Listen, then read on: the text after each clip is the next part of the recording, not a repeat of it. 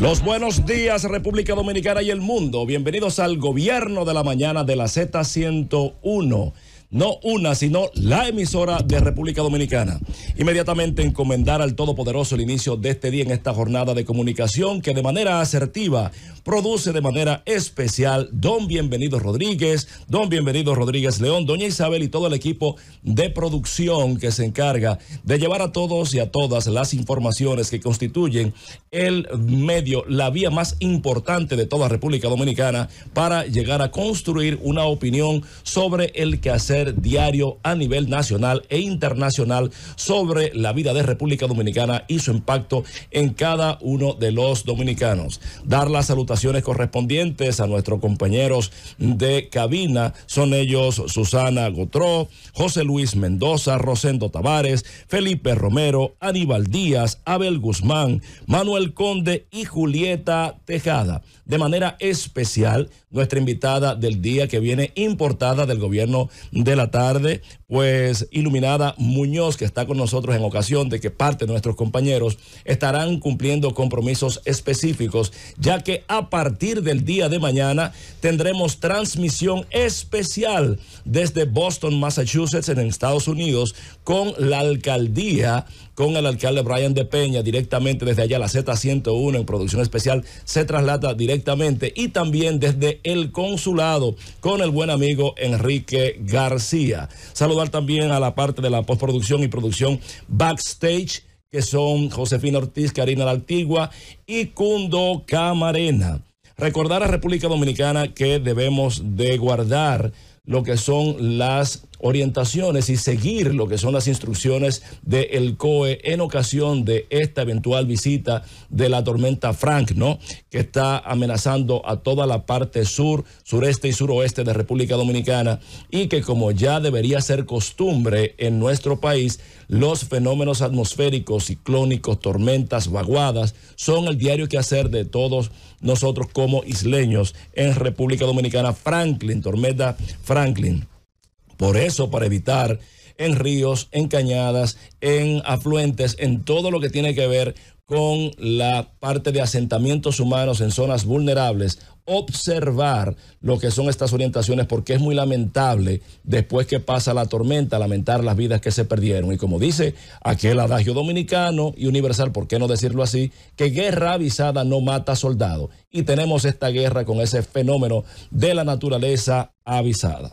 De inmediato, dando inicio a lo que es el análisis de este contenido del gobierno de la mañana, nos corresponde iniciar el primer turno de manera excepcional en esta oportunidad. Y hoy, lógicamente, la noticia que sacude como fenómeno natural político es la convocatoria de prensa que hace el Partido Revolucionario Dominicano encabezado por el buen amigo ingeniero Miguel Vargas para dar a conocer la alianza o gran alianza opositora en República Dominicana. Ya habríamos establecido hace tiempo y desde buen tiempo atrás que era imposible pensar que esa alianza no se materializaría, toda vez que, como dice aquella frase, cuando el interés es común, no hace falta confiar. Independientemente de los desafectos entre esas fuerzas políticas, el interés común ni siquiera de volver o vuelta al gobierno, sino el interés de protección por parte de uno de los participantes, obligaba a que el divorcio que se dio en el año 2019 generara una reconciliación y una especie de matrimonio bizarro entre los que hoy componen esa alianza. Ahora bien, la alianza que se anunciará es una realidad y esto me sugiere el nivel de pensamiento de que el PRM tiene un correcto desempeño gubernamental, pero definitivamente tiene que revisar su agenda político electoral. Y me explico, miren, la formalización de esa alianza Fuerza del Pueblo, PLD, PRD, entre otras fuerzas, es la primera victoria sobre el gobierno en estos rounds electorales.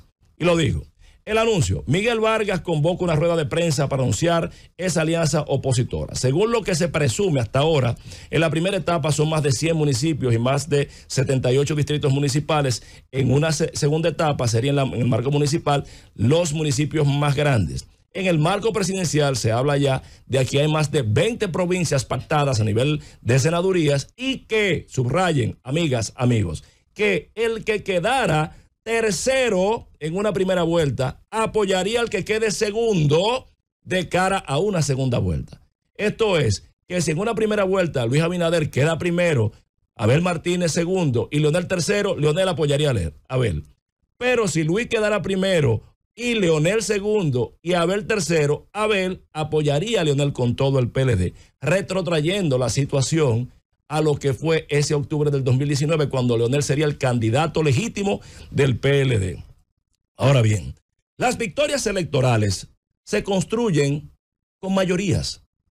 Y el PRM debió evitar a toda costa la construcción de esa mayoría. Una manera de hacerlo era por absorción. ¿Cómo es esto? Sí. Absorción de una de las tres fuerzas que, de las dos fuerzas que constituían la división del PLD. Y me explico. Les doy un ejemplo. Leonel Fernández, 1996. Leonel Fernández, en 1996, ganó las elecciones. Le preguntaron en el año 2000, presidente, ¿por qué perdimos? Y él respondió en Vanguardia del Pueblo. Los que preguntan por qué perdimos no saben por qué ganamos en el 96. Leonel ganó porque el Partido Reformista Joaquín Balaguer, temiéndole a la llegada de Peña Gómez con Fernando Álvarez Bogar de vicepresidente, pues ganara y le pasara la factura por elementos antiguos y asumió totalmente a Fernández en una segunda vuelta. Fernández, en un ejercicio inteligente y de conciencia de la coyuntura, ¿qué hizo? Insertó a los peledeístas en el gobierno, le dio decreto a todos ¿Y qué era lo que querían los PLDistas? Verse en un decreto por primera vez. Tenían 23 años en oposición, parecido al PRM que tenía 20, 16 realmente. Le dio decreto a todos. ¿Y qué hizo con los reformistas? Le dio participación en el Estado. Es más, le dio más negocios que los mismos balagueristas. A ellos. Entonces, en ese caso, Leonel fortaleció su estructura política y se ganó una nueva, consciente de que Bosch ya estaba bastante deteriorado en términos de su condición de salud, que Balaguer no podría resistir mucho tiempo en términos biológicos y que Peña Gómez estaba enfermo. Leonel se escindió y no permitió asumir la reelección que le preparó Amable Aristi Castro. Y en un momento de la vida revelaré algo que vi en ese momento y es verdad que Leonel no lo aceptó y esperó y se constituyó en el líder de los PLDistas y absorbió a los reformistas. Por eso en el sexto Congreso, profesor Juan Bosch, en el 2001, ah, quedan abolidos los métodos de Juan Bosch y entra toda esa parte de reformista y el PLD se masifica haciéndolo un partido grande. El que no me lo crea, que vaya y le pregunte a Manuel Crespo, a Danilo Medina o a cualquiera de ellos. ¿Qué acontece en ese caso? Bueno, Luis Abinader, ¿cómo llega al poder? Llega por la división básicamente del PLD. En ese caso, eso planteó dos grupos, el grupo de Danilo y el grupo de Leonel. ¿Qué era lo que mandaba la estrategia? O sencillamente mantener la división incorporando ese grupo que estaba disidente del PLD, que era el grupo de Leonel. ¿Cómo lo hacía? Vinculándolo, en vez de entregarle decreto a sociedad civil que no le soman un voto a nadie y solamente trabajan para ellos, están con todo y contra todos, incorporando esa parte. El mismo Leonel Fernández escribió un artículo del lapicero y el sobrecito lo habría drenado, habría absorbido toda esa parte y la alianza de hoy no habría sido posible. El PRM cuando llegó al gobierno, ¿qué quería? Lo que quería el PLD en un inicio, participación, reconocimiento, legítimamente ganado, pero se prefirió en alguna medida a la sociedad civil que a ese otro elemento. ¿Cuál habría sido el efecto? que empoderaba su dirigencia, robustecía su músculo PRMista orgánico, absorbía el leonelismo y sobre todo evitaba la alianza. Pero Luis perdió la oportunidad de hacerse el líder de esa facción y ya Leonel le creció. ¿Cuál es la realidad al día de hoy? Bueno, que se disgregaron esas fuerzas, le dieron el chance a Leonel de crecer y el PLD viéndose perseguido, como habíamos anticipado, se arroja, se tira, se echa hacia Leonel. Porque ni Leonel nunca persiguió a Danilo, ni Danilo nunca persiguió a Leonel. No porque haya nada que perseguir, eso lo diría la justicia, sino porque hay el respeto y la conciencia de que en política todos son necesarios. Entonces, amigas, amigos, hay una corriente ahora que le llama a eso la alianza de la impunidad. Bueno, yo creo que ya queda claro en este país que nadie puede estar hablando de marcos conceptuales de nada, porque en efecto, si la alianza es de impunidad, se supone que son elementos punibles los que participan de la alianza. Sin embargo, yo no sé cómo usted pudiera decirle que usted es corrupto, impune y demás cuando usted recibe dirigentes del PLD o de la Fuerza del Pueblo en el PRM. Pero que cuando el PRM llegó fueron en alianzas conjuntas en varias provincias con la Fuerza del Pueblo. Entonces, ¿cómo puede ser ahora un tema de alianza de impunidad cuando los mismos con que tú estuviste aliado están aliados en otra parte? Yo creo que al final lo que debió pasar es que el PRM evitar esa alianza a toda costa y debe revisar su esquema político electoral porque hay algunas reflexiones que uno debe de hacer. Por ejemplo, es natural que el PLD y la Fuerza del Pueblo se reconcilien. Es lo lógico. Son alas de un mismo ave que vienen de un mismo tronco. Pero ¿y por qué quien está anunciando eso es el PRD?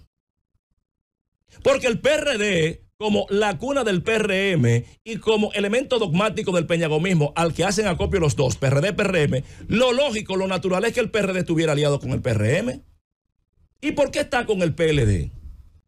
Cuando yo decía que Juan Uvieres, la inserción de Juan Uvieres era un gol que le habían metido al PRM, era por eso, porque la política, las victorias electorales no se construyen con minorías y restando, es sumando y con mayorías. Entonces, yo siento que este elemento de la, del solo anuncio de esta alianza ya marca una pauta que indica que hay un polo que está en la intención, que está en la capacidad y que está en la madurez de asumir un proyecto real de poder hacia la nación.